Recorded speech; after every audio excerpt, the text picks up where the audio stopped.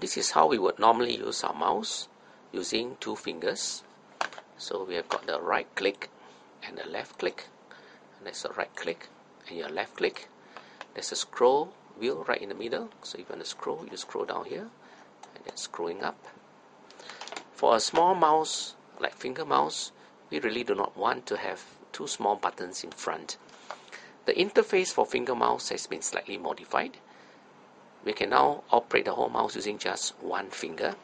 So basically now if you press it towards the front with the left click we tilt it towards the back with the right click.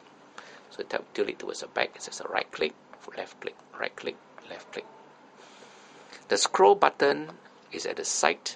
So this is a scroll down scroll up. Essentially the whole mouse body becomes the mouse buttons so that even if you've got very big fingers like if I simulate using three fingers I can still use the mouse comfortably. Left click right click left click right click.